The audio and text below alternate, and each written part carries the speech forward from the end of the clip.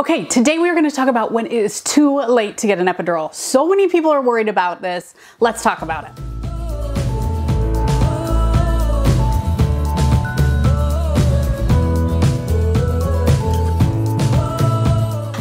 Hilary. I am the pregnancy nurse and I have 20 years of labor and delivery experience. I am also the curly head behind the website Pulling Curls, where we aim to prepare you from bump to bassinet for the confident, collaborative hospital birth that you are looking for. I am also the creator of the online prenatal class for couples, where we have a whole chapter about pain management options. We talk all about this, so be sure to join me in there.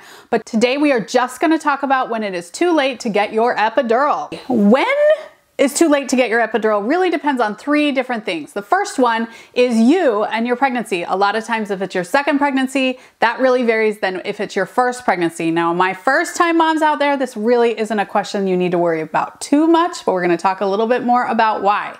The second thing is your hospital and their anesthesia staffing. Some hospitals have anesthesia on the unit all day, every day, forever and ever. And some hospitals, that anesthesiologist, if no one has an epidural in, can go home and they have to be back within a certain time period. So if that's the case at your hospital, you might wanna request it a little bit earlier just so you have some buffer for that anesthesiologist to get back to the hospital. The third thing is the willingness of your team.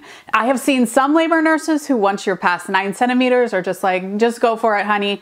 Um, and some labor nurses say, okay, let's try and get it. I was always the let's try and get it camp. I'm not sure that it ended up being helpful. We'll talk a little bit more about why coming up. Okay, so what would make it too late, right? I mean, because they always want your money, anesthesia does. So what would make it too late? First thing is you have to be able to sit still during the epidural placement.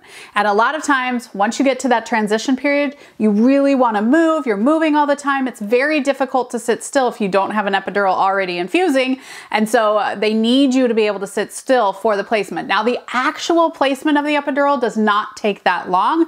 There is a lot of prep um, and if you want to learn about that, go ahead and see my last epidural video where I put it in in Raggedy Ann and you can see exactly how that works.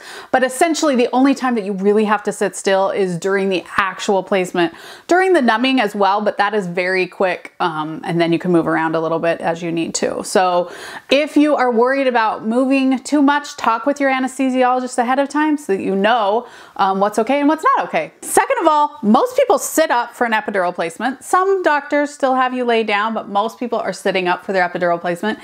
And if the baby's head is coming out, obviously you can't be sitting up. So that's one of the things that prevents you from getting an epidural at that point. But in addition to that, it would be too late. The epidural still takes about 20 minutes to set up. And I find that people who are in an enormous amount of pain, sometimes it just doesn't catch all the way up. So if the baby were to be coming out while you're sitting up, it really doesn't make sense to put in the epidural right then.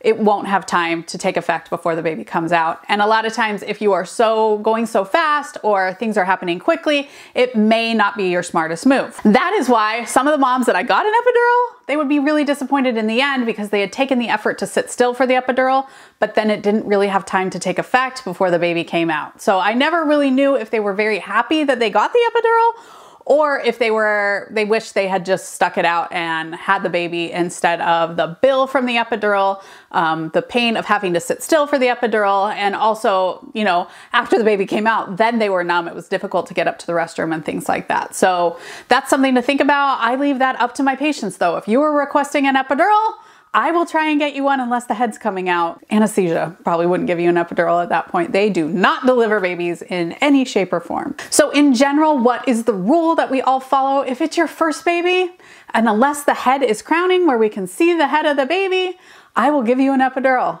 Um, it allows you to relax, maybe have some time to rest before you push the baby out. You just have a long time because you're stretching out that birth canal tissue. If it's your second baby, nine centimeters is really the time where I go, are you sure? Um, because a lot of times that nine centimeter, if it's your second baby, it quickly melts away. We push, pushing actually, it's hard to imagine, but it actually feels better when you're pushing against the contractions. And so I get moms, you know, pretty comfortable pushing against the contractions, having the baby fairly quickly, and then going on. Now, of course, this depends. My second baby was actually a pound bigger than my first baby, and so it actually took a while to push him out. So if I noticed that things like that were happening, maybe I could slide you into an epidural um, in that case. Also, depending on how the baby's looking and all these different kinds of things, things you're experiencing, if you had high blood pressure, things like that, they're all coming into play for this epidural. So just something to consider as you think about getting an epidural at your delivery. And I think you're gonna like some of these upcoming videos as well.